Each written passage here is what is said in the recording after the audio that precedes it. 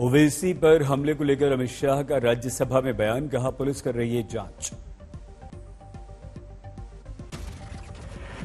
अमित शाह ने कहा, हापुड़ में उनका कोई कार्यक्रम नहीं था, न इसकी किसी को जानकारी थी।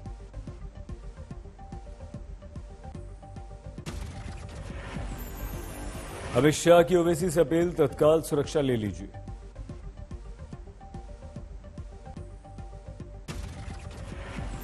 मैं सदन के माध्यम से श्री ओवैसी को विनंती करना चाहूँगा कि वो तत्काल सुरक्षा ले ले और हम सबकी चिंता का समाधान करें। आज ओवैसी की गाड़ी से तीन बुलेट बरामद फॉरेंसिक टीम ने ली थी तलाशी।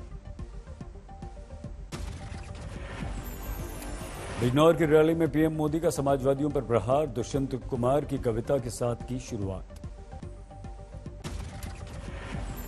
तक आते आते सुख जाती है कई नदियाँ। मुझे मालूम है पानी कहाँ ठहरा हुआ होगा।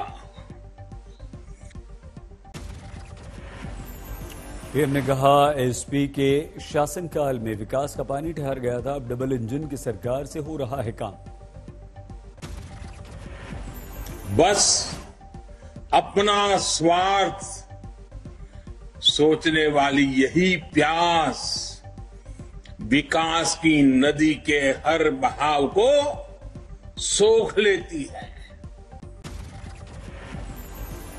पीएम ने रैली में नहीं आने को लेकर जताया अफसोस, खराब मौसम को बताया कारण। खराब मौसम के कारण पीएम मोदी नहीं आ सके बिजनौर, पहले फ़िज़िकल रैली का था प्रोग्राम लाइव टेलीकास्ट के द्वारा बिजनौर से पीएम मोदी की जन चौपाल का प्रसारण, तीन ज़िले, बिजनौर, मुरादाबाद, अमरोहा की 18 विधानसभा क्षेत्रों में दिखाया गया प्रसारण। सीएम योगी ने कहा, एसपी के राज में कानून व्यवस्था का था बुरा हाल।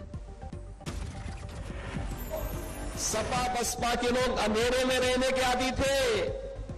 एक कहावत है ना, चांदनी रात चोरों को अच्छी लगती है आरएलडी नेता जयंत चौधरी ने कहा, बिजनौर में धूप खिल रही है, लेकिन बीजेपी का मौसम खराब। जयंत चौधरी ने कहा, प्रधानमंत्री मोदी को देना चाहिए जवाब, बजट में किसानों के लिए कुछ क्यों नहीं किया? मैं चाह रहा था कि वो आते तो कुछ ना कुछ सफ़ाई भी देते, कि क्यों टेनी जी मंत्री बने हैं, और जो किसानों के लिए इस बजट में क्यों कुछ नहीं था।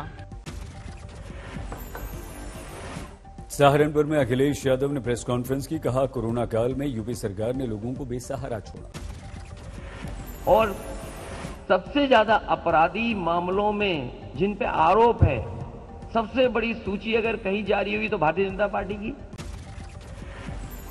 आज शाहजहांपुर के दौरे पर हैं रक्षा मंत्री राजनाथ सिंह। जनसभा में बीजेपी की जीत का विश्वास दिया। फतेहाबाद में पोलिंग बॉडी पर मतदान की इच्छा के विरुद्ध वोट दिलवाने का मामला, लोगों ने किया विरोध। मामले को लेकर अखिलेश का ट्वीट, वृद्धों, दिव्यांगों से वोट डलवाने में धांधली, चुनाव आयोग करे कार्रवाई। देवरिया में बीजेपी उम्मीदवार के विरुद्ध केस नामांकन के दौरान भीड़ जुटाने का आरोप। बलिया से स्वाति सिंह के पति दयाशंकर सिंह को मिला टिकट, कहा उनके लिए प्रचार करेंगी पत्नी। स्वाति जी मेरा भी प्रचार करेगी, पूरे प्रदेश की प्रचार करेगी। पिछली बार भी उन्होंने किया था, महिला मोर्चा की अध्यक्ष के रूप में उन्होंने किया था। पीएम मोदी के उत्तराखंड में वीडियो कॉन्फ्रेंसिंग के द्वारा रैली, देहरादून, हरिद्वार में विजय संकल्प सभा। उत्तराखंड में बीजेपी अध्यक्ष जेपी नड्डा ने प्रचार अभियान को दी गति। प्रचार से पहले बागेश्वर के बाघनाथ मंदिर में पूजा अर्चना। बागेश्वर में नड्डा की रैली, पिथौरागढ़, देहरादून में जनसभा। उत्तराखंड के लिए केजरीवाल की चुनावी वादी बिजली, स्कूल, अस्पताल की स्थिति सुधारने का भरोसा। केजरीवाल बोले, उत्तराखंड को बनाएँगे दुनिया भर के हिंदुओं की आध्यात्मिक राजधानी, पर्यटन को मिलेगा बढ़ावा। सिद्धू ने चन्नी की उम्मीदवारी के ऐलान के बाद कहा, मैं नहीं रखता किसी पद की चाह। मैं तो सिर्फ़ हूँ पंजाब का आशिक। सिद्धू ने राहुल की तारीफ़ की। पंजाब को पहला दलित सीएम देने पर राहुल को भारत का बबरशीर कहा। अपने प्रशंसकों से बोले सिद्धू, मुझे प्रदर्शनी की का घोड़ा मत बनाओ। मुझे अरबी घोड़ा बनाओ, जो रेस में अच्छा है। सीएम उम्मीदवार बनने के बाद हिमाचल पहुँचे चन्नी। नाना देवी मंदिर में पूजा अर्चना। पूजा के बाद चन्नी ने कहा, पंजाब, हिमाचल के दोनों धार्मिक स्थल, श्री आनंदपुर साहिब और श्री नाना देवी रोपवे से जुड़ जाएँगे। चन्नी को सीएम उम्मीदवार का चेहरा बनाने पर हमलावर हुआ विपक्ष। बोले, मजीठिया, पंजाब में कांग्रेस भ्रष्टाचार को दे रही है बढ़ावा। मजीठिया बोले, सिद्धू को कहा गप्पू, कहा अमृतसर को ऐसे गप्पू की ज़रूरत नहीं। ट्विटर पर योगी की हत्या की साजिश का ट्वीट, पुलिस ने एफआईआर दर्ज की। लुधियाना में राहुल की सुरक्षा में सेंध का मामला, कार की खुली खिड़की से चेहरे तक आ गिरा झंडा। वर्चुअल रैली में हिस्सा लेने जा रहे थे राहुल। दर्ज नहीं की गई कोई शिकायत। बीजेपी नेता किरीट सुमैया का आरोप, पुलिस की मिलीभगत के साथ हमले की साजिश। दो दिन पहले सुमैया के साथ हुई थी धक्कामुक्की किरीट ने शिव सैनिकों पर लगाया आरोप। पुणे महानगर पालिका के दफ्तर से निकल रहे थे किरीट सुमैया शिवसेना कार्यकर्ता कर रहे थे विरोध। हरियाणा के रोहतक की जेल में बंद, डेरा प्रमुख गुरमीत राम रहीम को बड़ी राहत 21 दिन की फरलो मिली। पंजाब चुनाव से पहले राम रहीम को मिले फरलो पर सवाल। मुख्यमंत्री खट्टर ने कहा, चुनाव से कोई लेना देना नहीं। देहरादून के दौरे पर अभिनेता अक्षय कुमार धामी से मिले। कोलकाता में मोहल्ला स्कूल की शुरुआत, कक्षा सात तक पार्क मैदान में लगेगी क्लास। सुप्रीम कोर्ट ने कोरोना वैक्सीनेशन के लिए कोविन ऐप पर आधार कार्ड ज़रूरी नहीं बताया। असम में कोरोना प्रतिबंध खत्म। नहीं लगेगा रात का कर्फ्यू। बिहार में धार्मिक स्थल खोलने का निर्णय, कोरोना के मामले हो रहे हैं कम। हमारे देश में कोरोना लगातार कम हो रहा है। नए केस तिरासी हज़ार आठ सौ के लगभग। कम नहीं हो रही कोरोना से मौत के मामले। एक दिन में आठ सौ पचानवे लोगों की मौत। सक्रिय मामले ग्यारह लाख से ज़्यादा एक लाख निन्यानवे हज़ार लोग ठीक हुए। संक्रमण दर सात प्रतिशत, छियासठ प्रतिशत नए मामले पाँच राज्यों से। दूसरे नंबर पर महाराष्ट्र, छियानवे सौ से ज़्यादा केस। दिल्ली में 24 घंटे में 1410 कोरोना केसेस। दिल्ली में एक दिन में 14 लोगों की मौत। दिल्ली में कुल आठ हज़ार आठ सौ उनहत्तर कोरोना एक्टिव केस। केरल में पिछले 24 घंटों में छब्बीस हज़ार सात सौ उनतीस नए केस 22 की मौत। तमिलनाडु में 24 घंटे में 6,120 लोग ठीक हुए 26 लोगों की मौत।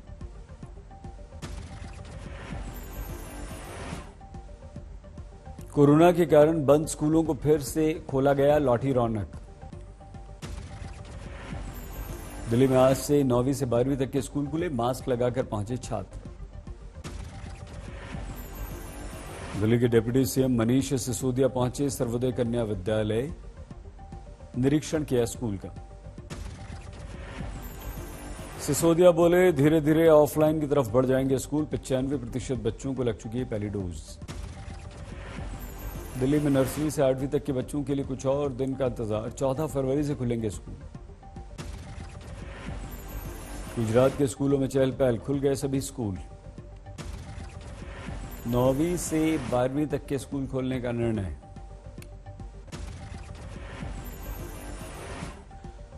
उत्तर प्रदेश में नौवीं से बारहवीं तक के स्कूल खुले, बाकी ऑनलाइन क्लासेस जारी रहेंगी। बिहार में आज से कक्षा आठ तक के स्कूल 50 प्रतिशत क्षमता के साथ खुलने का निर्णय। केरल में आज से दसवीं, ग्यारहवीं, बारहवीं की कक्षा के साथ यूनिवर्सिटी भी खुल गई।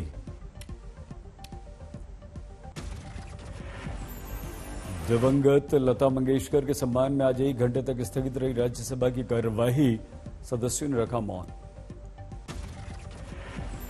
राज्यसभा में सभापति वेंकैया नायडू ने पढ़ा शोक संदेश, स्वर कोकिला को दी श्रद्धांजलि। बीजेपी विधायक राम कदम की मांग शिवाजी पार्क में बने लता मंगेशकर का मेमोरियल। मध्य प्रदेश के इंदौर में लता मंगेशकर के नाम से खोली जाएगी संगीत अकादमी, संगीत महाविद्यालय और एक संगीत संग्रहालय। शिवराज सिंह चौहान ने किया ऐलान। इंदौर में लगेगी लता मंगेशकर की प्रतिमा। लता मंगेशकर के जन्मदिन पर उनके नाम से मध्य प्रदेश में दिया जाएगा पुरस्कार। शिवराज सिंह चौहान ने लता मंगेशकर को श्रद्धांजलि दी, स्मार्ट सिटी पार्क में लगाया पौधा। लता मंगेशकर के परिवार के लोग आए थे, शिवाजी पार्क, अस्थियाँ चुनने की रस्म हुई पूरी। पाली ज़िले के कलाकार ने दी लता जी को श्रद्धांजलि, पीपल के पत्ते पर बनाई तस्वीर। हुगली में तपन साहा ने फटे हुए कागज़ अखबार के टुकड़ों से बिना पेंट और रंग के बनाई लता मंगेशकर की तस्वीर। दुबई में आशा भोसले के रेस्टोरेंट में लगाई गई एक पुरानी तस्वीर। तस्वीर में लता के साथ हैं आशा। लद्दाख में तापमान शून्य से 10 डिग्री नीचे, कड़ाके की ठंड में सीमा पर डटे हुए हैं जवान। 10 से 14 हज़ार फीट ऊँचे ग्लेशियर पर पेट्रोलिंग कर रहे हैं जवान, हथियार के साथ स्कीइंग। गलवान में झड़प के बाद सीमा पर सैनिकों की लगातार तैनाती। हिमाचल में बर्फबारी, शिमला में चारों तरफ़ बिछी सफेदी। जम्मू के गुलवर में इग्लू कैफ़े बना टूरिस्ट के आकर्षण का केंद्र।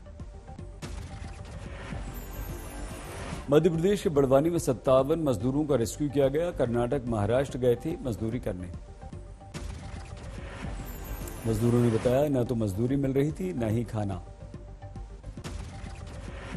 चेन्नई में बस में महिला के पास बच्चे को छोड़कर चला गया एक शख्स पुलिस कर रही है जाँच। थाने में महिला पुलिस कर्मियों ने बच्चे की देखभाल की, वीडियो वायरल।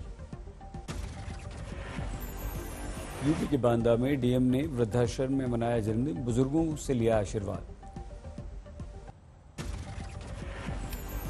यूपी के मुरैना में युवक की पिटाई। लड़की से मिलने का है आरोप।